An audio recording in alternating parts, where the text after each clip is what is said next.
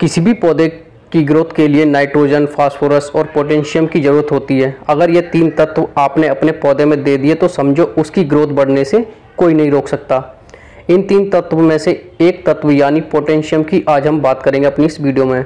इसे किस तरह अपने घर पर तैयार कर सकते हैं, वो भी बिल्कुल फ्री में। जो आपके किचन में से जो बेस्ट पदार्थ समझकर आप उन्हें फेंक देते हैं, उन्हीं से हम पोटेशियम बनाना सिखाएँगे। नमस्कार दोस्तों, मैं पंकज कुमार स्वागत करता हूँ आपका अपने इस यूट्यूब चैनल पर। दोस्तों, अगर आप मेरे चैनल पर नए हैं तो प्लीज़ चैनल को कर लीजिए सब्सक्राइब और बेल आइकन बटन को दबा दीजिए, जिससे नोटिफिकेशन आपको सबसे पहले मिलेगा। हेलो दोस्तों यह जो आप पौधा देख रहे हैं यह मैंने अपनी छत पर ग्रो बैग में, बैगन का पौधा लगाया हुआ है, जिसे आप देख सकते हैं, बहुत ही अच्छे से ग्रो कर रहा है।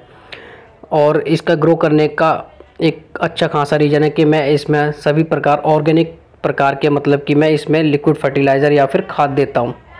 अगर आप भी टेरेस गार्डनिंग करते हैं और आप भी यह जानना चाहते हैं कि बैगन के पौधे या कोई भी सब्ज़ी के पौधे को किस प्रकार की लिक्विड खाद दें जिससे हमारे पौधे की ग्रोथ दुगनी हो जाए और यह लिक्विड खाद बनाने के लिए आपको अपनी जेब से पैसे भी खर्च ना करने पड़ें। बिल्कुल आपने सही सुना, आपको अपने जेब से पैसे खर्च नहीं करने पड़ेंगे और आप ये सब कुछ फ्री में बना सकेंगे।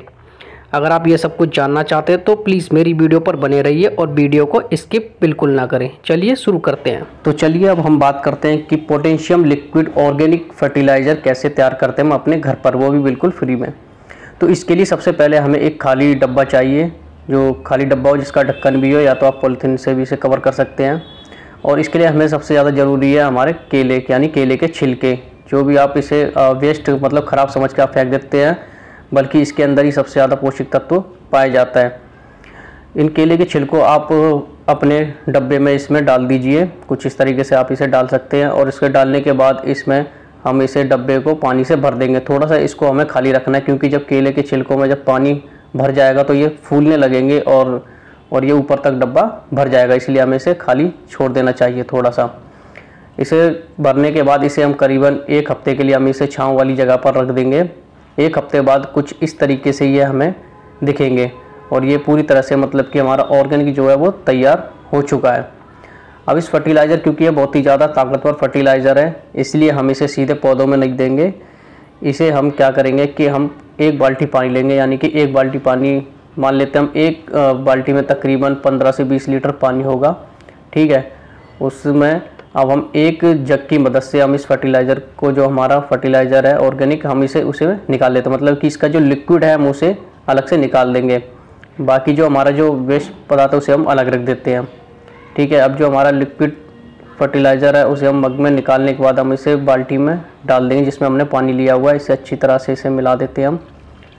अच्छी तरह से मिलाने के बाद ये हमारा लिक्विड फर्टिलाइज़र तैयार है, जो कि अब थोड़ा सा सॉफ्ट है, यानी कि हार्ड नहीं है, जो पौधे को नुकसान पहुँचाए। तो दोस्तों, तैयार है हमारा बनाना ऑर्गेनिक लिक्विड फर्टिलाइज़र अब ये हमारे पौधे को देने के लिए पूरी तरह से तैयार हो चुका है। तो हमारा जो पौधा है, हमारा बैगन का जो पौधा है, हम उसमें एक से दो मग हम इसमें डाल देंगे। एक से दो मग बहुत है एक पौधे के लिए। और बाकी का जो लिक्विड ये फर्टिलाइज़र जो बचा हुआ है, हम इसे और भी बाकी अपने पौधे में डाल देंगे। तो दोस्तों, अभी तक की यही जानकारी है, ठीक है? अगर आप मेरे चैनल पर बने रहते हैं तो आपको नई नई वीडियो की जानकारी आपको मिलती रहेगी। और भी तरह के मतलब कि जो नाइट्रोजन, फॉस्फोरस, जो अलग तरह के लिक्विड फर्टिलाइज़र, वो हम कैसे तैयार कर सकते हैं हम पौधे की, और अच्छे से ग्रो कैसे करें, और तेज़ी से हमारा पौधा फास्ट कैसे आगे बढ़े तो इसके लिए आप मेरे चैनल पर बने रहिए। चैनल को लाइक कीजिए, सब्सक्राइब कीजिए, और कमेंट ज़रूर कीजिएगा। Thank you so much.